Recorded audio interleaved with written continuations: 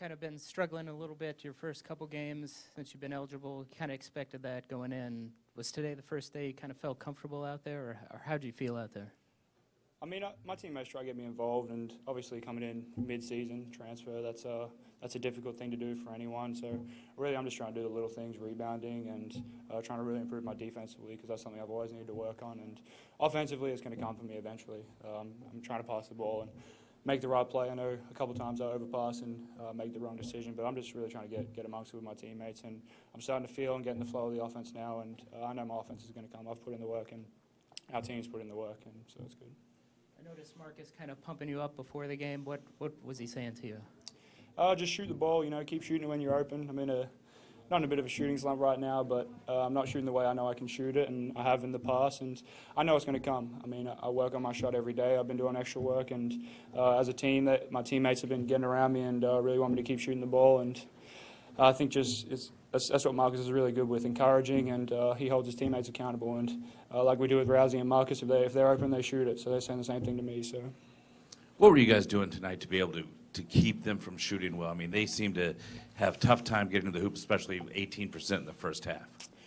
I think the biggest thing we got to acknowledge is our uh, scout team. Obviously, uh, what I played on last year, but this year uh, with the younger guys, obviously it's, it's there's not as many scholarship players on scout team. It's just Ed Morrow and uh, so Cam, couple couple of the walk-ons and all that running the running the scout. And I think it's just it was really good, really good week with them. Uh, they they went really hard and they did the scout really well. So. Uh, so, I can't remember who it was. Someone was uh, emulating Strus, and uh, in practice we locked him up. Sacar and Jamal did a great job tonight, and that's how they played him in practice. So, uh, like like Butler, how you practice is how you play. So, uh, it showed tonight how we practice is how we played, and we were locked in. Seems like you made a lot of contributions on the boards tonight. Do you feel like you're getting more comfortable down there? What led to such a productive rebounding performance? Uh, I expect to do that. Uh, it's something that's expected of me, and it's something that I expect. And I like to rebound, rebound the ball, and uh, I think that's just something. That's one of the little things I can control. I can't always control if your shot's going in or not, and offensively that's going to come. But I can control rebound. I can control how hard I play. So that's something that I, I really focus on. And actually, right near the final buzzer, it was announced on Twitter that your brother Sam's going to Creighton.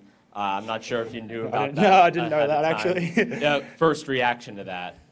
I mean, that's pretty cool. Getting to play against him uh, eventually, that, that, that, would be pretty awesome. And uh, all the best to him. Uh, we're really close family, and even though it doesn't really look like it because I didn't know he was, where he was going, but uh, I mean, it's, it's good for him. I'm excited for him, and it'll be it'll be good to add that to a rivalry, I guess. So. You talk about Markus encouraging you to keep taking shots. Uh, you have a diverse range of shooting options, given that you can hit the three and can also play down in the post. It seems like the three has been where you've been struggling a little bit more so far this year. Have you had to adjust when you've been taking those shots? Has it been in your head, or are, are you trying to take those shots and get get out of that slump?